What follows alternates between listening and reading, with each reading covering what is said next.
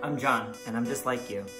Except I suffer from LHTITS, which is long hair that isn't there syndrome. Then my doctor told me about Latits.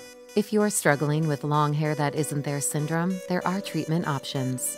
Ask your doctor for once a day Latits. It may help you.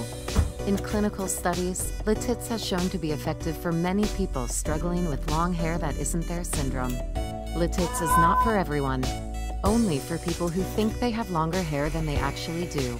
Call your doctor for unusual mood changes or for imaginary hair growth, hair loss, or death. There are paths to treat long hair that isn't there syndrome.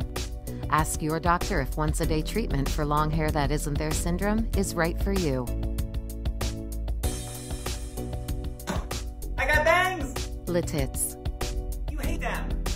because long hair do care. Ow!